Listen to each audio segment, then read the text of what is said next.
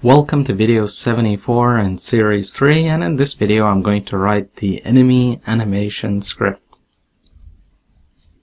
I'll make a new folder here, I'll call that enemy scripts, enemy scripts. And I'll call this enemy animation. And open it up. I won't need the start and update methods, so I'll get rid of those. I'll have two variables, private enemy master, enemy master, and private animator, my animator.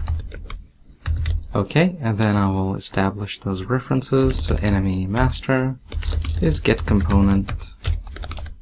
Enemy master and for the animator, I'll say if get component animator is not equal to null,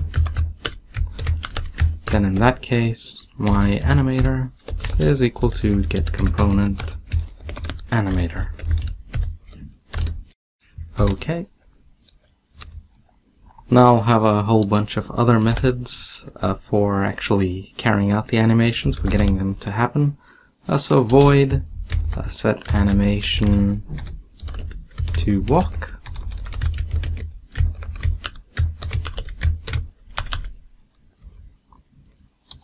And I'll just put in here if my animator is not equal to null and if my animator dot enable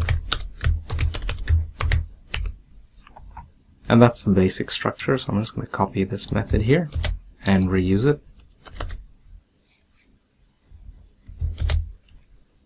This one will be idle.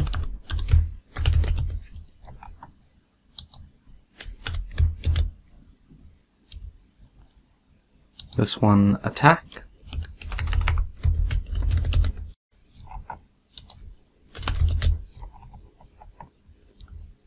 And this one here I'll set it to struck. And it's going to listen to the event for player uh, for the enemy health deduction. So it needs a int dummy, just a dummy value. It's not actually going to get used. And uh, finally, void uh, disable animator. So when the enemy dies, it's important to disable it. So if my animator is not equal to null,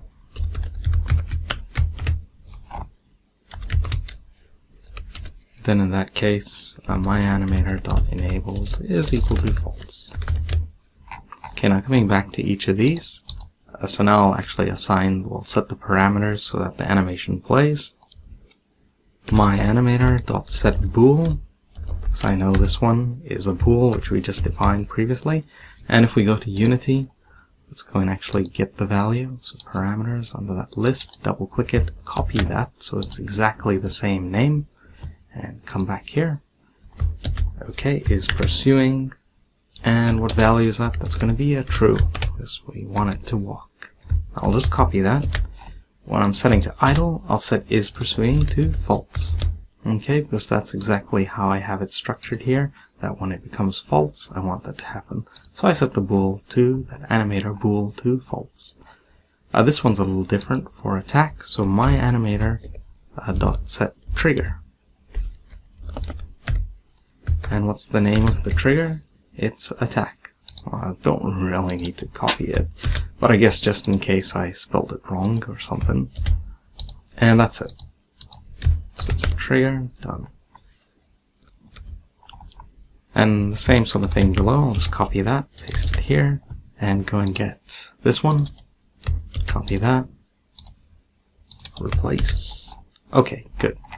Now I need to set up the uh, event. So first of all, set initial references. And now there's quite a few uh, events that I need to listen to. So enemy master dot event enemy die plus equal disable uh, animator done. So copy that there.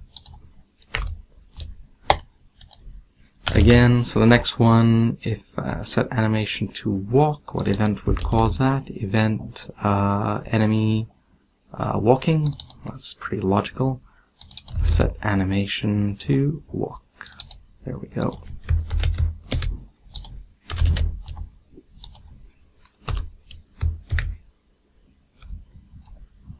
Now what would cause it to go to idle? So if the uh, enemy reaches their target, so event enemy reach nav target, then uh, set animation to idle. Okay.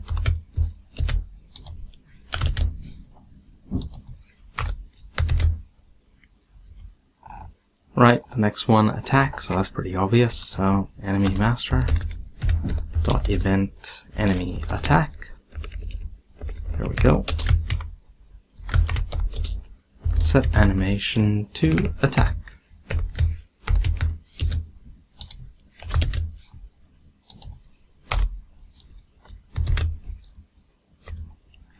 And last of all, this uh, set animation to struck. Only one event can uh, that can be have that listening to it. So that's the enemy master dot event enemy deduct health set animation to struck.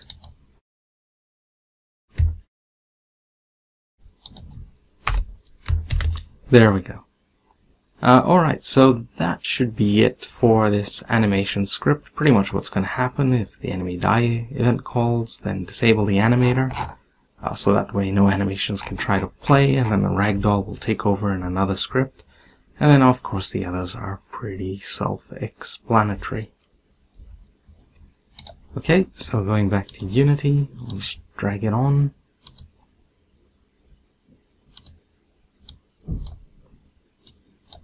Okay, just apply that prefab change. And just run it, just make sure that there's no obvious errors, and they aren't, so all good. Okay, so thanks for watching, and I'll see you in the next video.